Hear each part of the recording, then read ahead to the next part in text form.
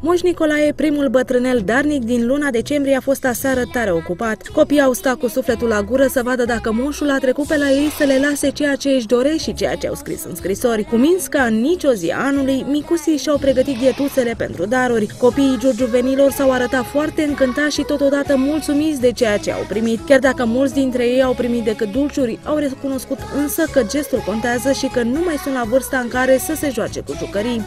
A venit Moș Nicolae. Normal, ca în fiecare an. Ce v-a adus? Dulciuri. Ca de Moș Nicolae. Da, a venit. Cu ce a venit? Dulciuri și bani. Te așteptai la altceva? Nu. Da, cum să nu? Ce ți-a adus?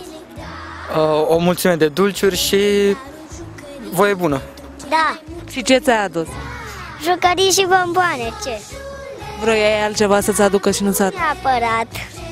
Tu ești bucuros că a venit, nu? Da. A venit, da. Și cu ce a venit? A venit cu dulciuri, cu suc și atât, că m-am făcut mare și nu mai îmi trebuie jucării de la el. Da. Și ce ți-a adus? Uh, Mie mi-a adus dulciuri și o tabletă. Era ceea ce ți-ai dorit? Da. Înseamnă că ai fost cu mine. Da. Și Moș Crăciun ce vrei să-ți aduc? Mm, Un telefon nou. Deși mulți dintre copii și-au dorit să-l vadă pe Moș Nicolae, acest lucru nu a fost posibil pentru că moșul și-a făcut treaba în liniște, iar când s-au trezit, cei mici nu au putut decât să exclame de bucurie. După ce s-au bucurat de darurile primite, cei mici se pregătesc acum pentru Moș Crăciun.